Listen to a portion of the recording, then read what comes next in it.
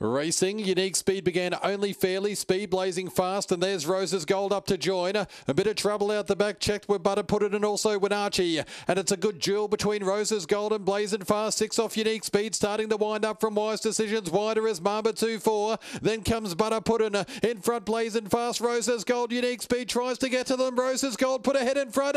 Rose's Gold defeated unique speed out wide or on the inside, blazing fast. Fourth in Wise Decisions. Then came Mamba 2 for Butter Puddin. The other two put out of play early were Winarchi, and it was one of the last in with Crown of Thorns.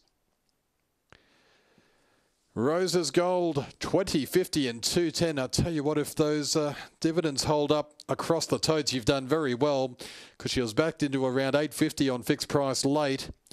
Close for second. The one and two out. Uh, one's out wide, two on the inside. They're wide apart. One has got second unique speed, two blazing fast in third, and three wise decisions back in fourth. So 9, 1, 2 and 3, 24 0 3 the gallop. Well, she is always right in the mix, Rose's Gold, when she can get up near the lead.